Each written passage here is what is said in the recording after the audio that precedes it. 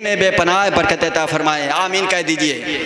State पे बावकार सामने उलमाए कराम तशरीफ़ रखते हैं और कुछ हो। तालिब इल्म में भी तशरीफ़ रखते हैं मैं तो हमेशा कहता हूँ जहाँ तालिब इल्म ना रहते वहाँ हम जैसे भी हो के ना होते। इसलिए कि इनका मकाम इनका रुतबा इनका बहुत मकाम आला है। आप पूछेंगे जी शान साहब आलिम से बढ़कर कौन, किसका मकाम होता है? आइए मैं एक हदीस बताता चलूँ। आला हज़रत असीमुल बरकत हैं, वलमा कराम जानते हैं। आला हज़रत असीमुल बरकत हैं, उन्होंने एक मजलिस में तमाम लोगों को दावत दी और जहाँ तमाम सामाइन को दावत दी, वहीं मदरसे के तालब इलम की भी दावत दी। मेरे अकाल सलाम का आशिक हज़रत हुजूर आला हज़रत के दर पे तमाम लोग तशरीफ़ लेके आए, तमाम मेहमान आए। तमाम मेहमानों से आला हज़रत ने नहीं पूछा, आप क्या खाएँगे? लेकिन जब मदरसे के बच्चे तशरीफ़ लाए तो आला हज़रत ने एक एक लोगों से पूछा कि, बेटे, खाने में तुम क्या पसंद करते हो? तो किसी ने कहा, मटन पसंद करता हूँ। किसी बच्चे ने कहा, हम अंडा पसंद करते हैं। किसी ने, किसी बच्चे ने कहा, हम चिकन पसंद करते हैं। यानी मदरसे के तालिब में से अलग अलग तरह से आला हज़रत असीम बरकत पूछते हैं कि बच्चे तुम खाने में क्या पसंद करते हो? तुम खाने में क्या पसंद करते हो? तो तमाम बच्चों ने अलग अलग चॉइस बताई अलग अलग अपनी ख्वाहिश बताई। तमाम बच्चों की ख्वाहिश पे आला हज़रत ने अलग अलग खाना बनवाया अलग अलग खाना बनवाया।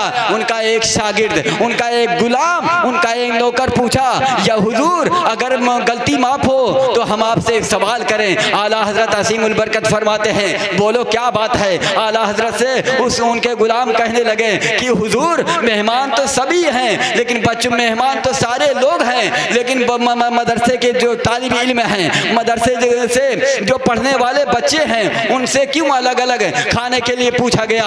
आला हज़रत फरमाते हैं आला हज़रत कहते हैं कि आए लोगों सुनो सुनो ये मेहमान हमारे मेहमान हैं। लेकिन जो मदरसे में बच्चे पढ़ते हैं वो रसूल पाक के मेहमान सुबह अल्लाह। हमारे मेहमान के साथ साथ अल्लाह के रसूल सल्लल्लाहु अलैहि वसल्लम के भी मेहमान जी। अल्लाह के रसूल सल्लल्लाहु अलैहि वसल्लम के मेहमान है। तो मैं हमेशा कहता हूँ तालिब इल्म जहाँ रहते हैं उनका वक़ार उनका मर्तबा बहुत बड़ा होता है। तो आइए नाते नबी सल्लल्लाहु अलैहि वसल्लम समात करने के लिए मैं बड़े अदब के साथ गुजारिश करता हूँ पद के साथ। नारे तकबीर। हाथों को उठाएँ इसलिए कि हाथों को उठाओ फरियाद के लिए। मौला ज़रूर आएँगे इमदाद के लिए।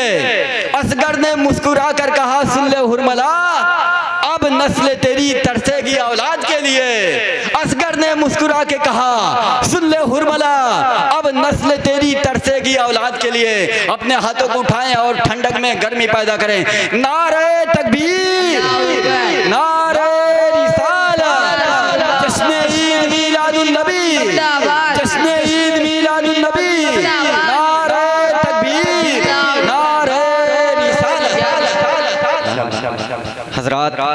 का ये प्रोग्राम सिर्फ़ अहमद डोबा ही नहीं बल्कि पूरी दुनिया में नसर किया। इंशाल्लाह। आप सुबहान अल्लाह बोले, एक मरतबा कहते हैं सुबहान अल्लाह एक मरतबा एडवांस में कहते हैं सुबहान अल्लाह स्टेज पे अल्लामा कारी निसार अहमद साहब किबला तशरीफ़ रखते हैं। और शहनशाह तरन्नुम अंदलीब गुलशन रिसालत बाग तैयबा के फूल, कारी नसीरुद्दीन साहब किबला तशरीफ़ रखते हैं। तमाम अहले सुन्नत की जूतियों को अपने सर का ताज बनाते हुए जीशान रजा, दो मिसरा पढ़ना चाहता है। तमाम दुआ करें। कि दयारे शेरो सुखन के फकीर से कहना। दयारे शेरो सुखन के फकीर से कहना।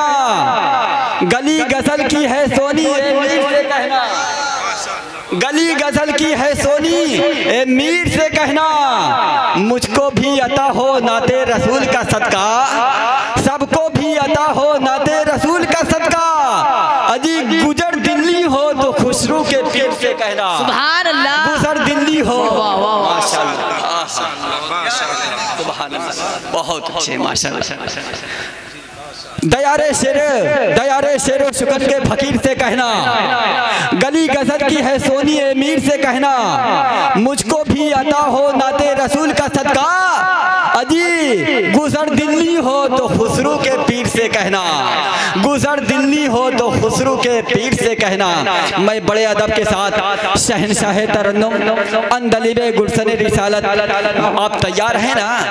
एक मरतबा कह दे सुबह हाथों को उठाएँ और बताएँ, कह दे, या रसूल अल्लाह और बुलंद आवाज़ से कह दे, या रसूल अल्लाह आप इस फेर में मत रहना नौजवानों, कि हमारी तादाद कम है। अगर आप इस सोच में रहेंगे तो आप करबो बला का जहन अपने दिमाग में रख लेना, कि करबो बला में सिर्फ़ बहत्तर जानिसार थे, लेकिन पूरी दुनिया को हिला कर रख दिया था। कह दे सुबह अल्लाह दुश्मनों ने यही अफवाह उड़ाई होगी।